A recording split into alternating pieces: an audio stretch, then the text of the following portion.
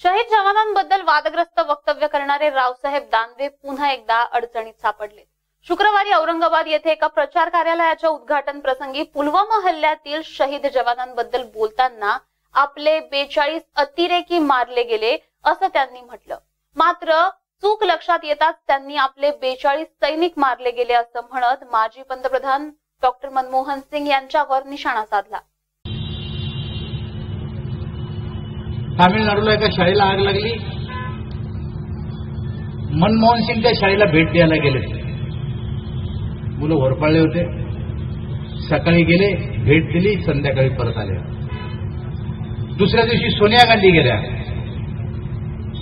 आणि जाऊन त्यांनी प्रधानमंत्र्याच्या निधीमधून त्या मुलांना एक एक लाख रुपये जाहीर करून आल्या. म्हणजे प्रधानमंत्री गेले वापिस आले त्यांनी काही जाहीर नाही केलं. पण सोनिया गांधी गेल्या प्रधानमंत्र्यांचा फंड जाहीर करून आल्या. आपले पत्रकार मित्र मोठे हुशार असतात लगेच गेले मनमोहन सिंगाकडे. का हो तुम्ही काल गेले आणि परत आले? तुम्ही काहीच नाही जाहीर केलं. पण सोनिया गांधी गेल्या तुमचा फंड जाहीर करून आल्या तुम्हाला विचारलं होतं का? ते म्हणले प्रधानमंत्री करायच्या त्यामध्ये मला कुठे विचारत तुम्हाला मी प्रधानमंत्री करू आले? असा कमकुवत प्रधानमंत्री या देशांना पाहिलेला आहे. निर्णय घेऊ शकत नव्हता. आता आपले बेचाळीस अतिरेकी मारले गेले.